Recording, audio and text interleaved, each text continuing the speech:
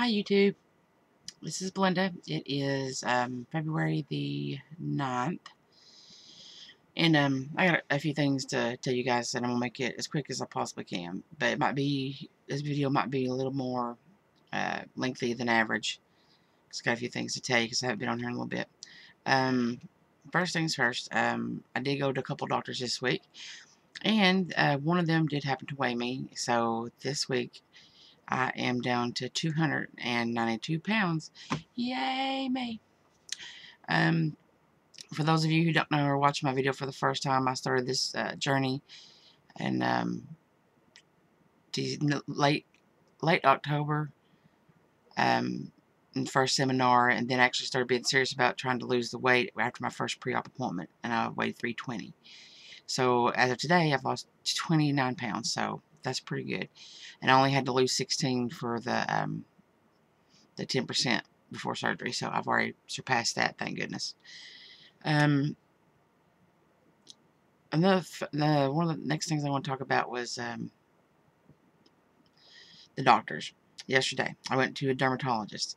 Uh, appointment was at 145 got there early and they didn't get me back there until after 2, like 2.05. Then I sat back there for 25 minutes. At 2.35, they finally came back there. After I'd already done called my sleep center consult people and told them I was going to be late because I had an appointment at 3 o'clock right after that one. In Maryville. I live in Knoxville, which is a half an hour away. So they made me late. But the bad news at the um, dermatologist was that um, they put me on I'm going to try to show these to you. There are two different kind of sprays for the psoriasis that I have in my ears and on my scalp. It is whoop, Kenalog. Can you see, if you see that or not? It's a spray that I have to spray on my scalp, like so. and then they gave me another one called Clobex. Um, also a spray. I gotta do each of these sprays twice a day for the next three weeks and if that does not work and I still have the psoriasis then this was the bad news part is if it's still the same and I go back on March 14th then they're going to inject needles into my scalp where the psoriasis is to try to get it under control and they'll that will have to be done every six to eight weeks. So no, I'm not very happy about that. All right. We're almost three minutes, so let's move this on. Uh, the next appointment I had, like I said, was 3 o'clock. That was with the Sleep Study Center in Maryville, uh, Tennessee, which is a pulmonary uh, center. Um, I got there, and I pretty much kind of figured I was going to have sleep apnea. I just, you know, I just figured I'd have it. Well, I have it, but here's a list of other things that I had with it. Um, I have moderate COPD. I have delayed sleep phase syndrome. I have restrict, restrictive lung disease and severe severe obstruct, obstruct, obstructive sleep apnea. I'm going to be uh, to uh, be put on a CPAP machine after they do my sleep study on March 1st. And they said I could probably get off of it after surgery and I lost some weight. But the other scary thing is, is I have um, a narrowing of my esophagus, which apparently um, they found out was hereditary. Because my mom has it and my granddad has it. And a few other people. So, not much I could do about that. Eventually, I'll probably have to have my um, esophagus straightened. But the scary part is I have a blockage, a 95% blockage of from right here, I guess up here, all the way down my throat. And most people, when you put a tongue depressor in them, in their mouth, and then they go, ah, well, you can see their uvula bouncing back and forth. Well, he done that to mine, and he couldn't see anything. He said he could barely see the opening to the to my throat down, you know, down in there. He barely could see that. So, um, he said that was going to make it very difficult for the anesthesiologist to intubate me during any kind of surgery, much, you know, much less the weight loss surgery. So, you know, sorry, that wasn't good news either, you know. And so uh, they put me on, uh, you guys may have heard this, called melatonin. It's supposed to help you make you sleep.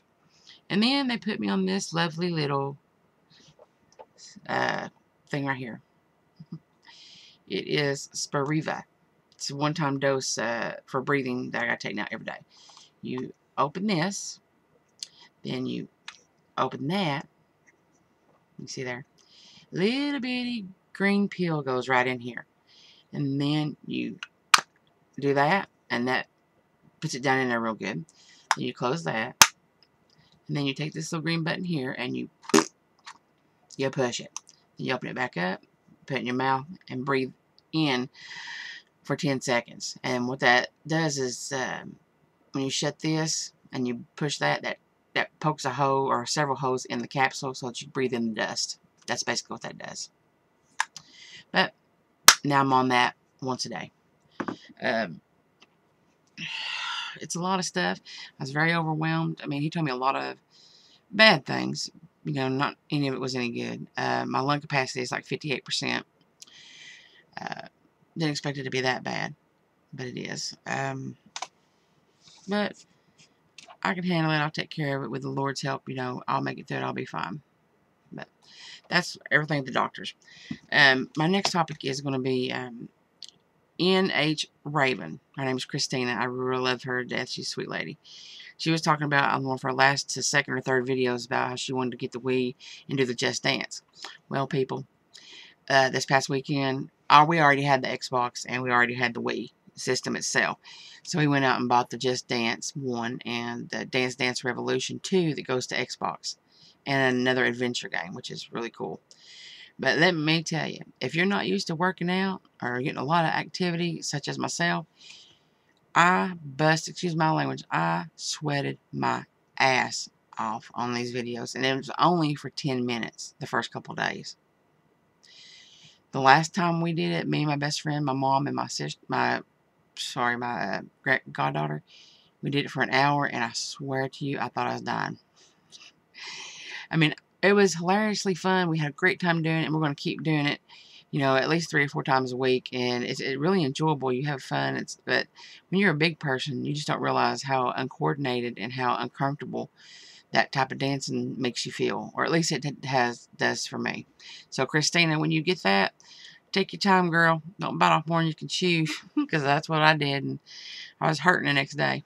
But it is fun, so thumbs up. Get both of them if you can. Um, Let's see.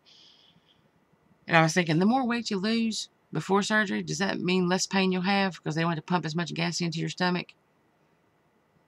Or not, not gas, I mean air. So I was wondering.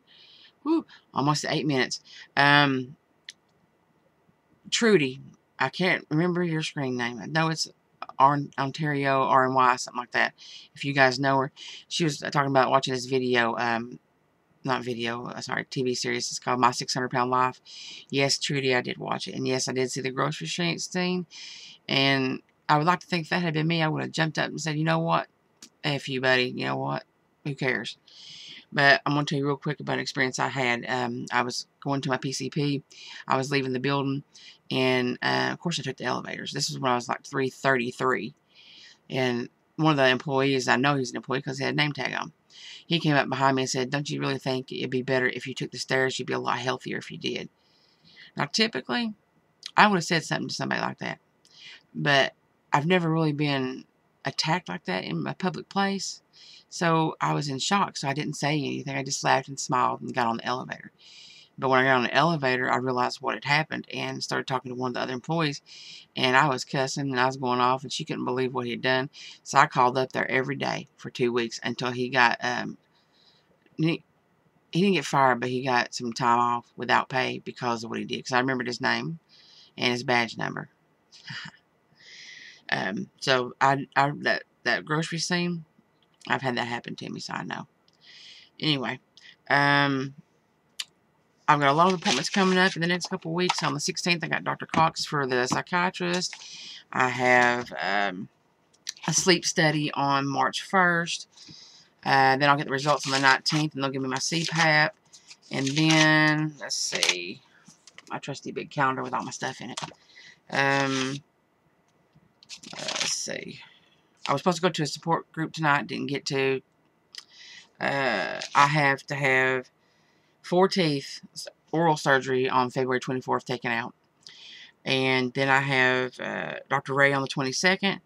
And I have the upper GI and all the lab work and all that pre-op stuff on the 23rd. And uh, that's pretty much up until then. I don't have much else. But um, that's pretty much it, guys. I mean, I don't have anything else to say. And I've went over 10 minutes. And I really hate that i done that. So please forgive me. Um, I kind of also want to give a, a shout out to um, Rosemary and uh, Becky and Leslie and Banded Wendy and um, a bunch of all you guys that have been supporting me. I so appreciate it. Everybody has, but thank you all. Um, just everybody have a, a, a blessed day, blessed night, blessed afternoon, depending upon whenever you watch this. And remember, things can always be worse, and there's always somebody worse than you. So take what you have, don't take it for granted, and move on and live day by day. Alright, everyone. Bye.